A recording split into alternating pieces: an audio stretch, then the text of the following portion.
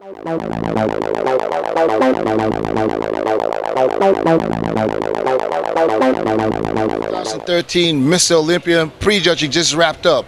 I'm standing here next to Shawn Rhoden. Shawn Rhoden. Prejudging is done. First call out, six athletes. Shawn Rhoden is in the six athletes. Shawn, how do you feel? Talk to me. Whew. This one was rough, folks. I ain't gonna lie to you. It's, uh, Jay's back. Phil.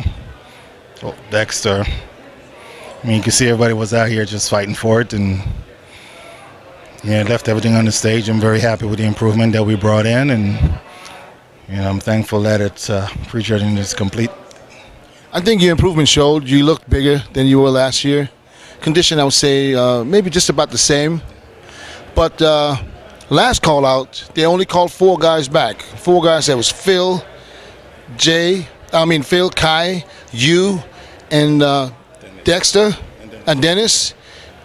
And no, first it was Dennis. Then they, they sent Phil back before they even posed and brought Dennis out.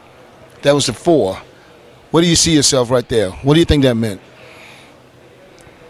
There's still work to be done. Uh, I can't assume anything. It's you saw a great athlete, and you know, as we were told before, each and every one that person that's competed and this Mr. Olympia won a pro show before, so just got to go back to the hotel and sit with Chris and figure out the strategy for tomorrow. It's Are not you, over. you think you're gonna leave it the way it was, or you think you're gonna you, want, you feel like changing something? Uh, I'm, I'm coming back tighter tomorrow. I guarantee you that. Can't afford to leave anything. You can't leave any what if or shoulda, coulda, woulda. So, you know, knowing Chris right now is uh, there's a little ball going off in his head, trying to figure out what can we do to be tighter. And I'm in the same page as he is right now.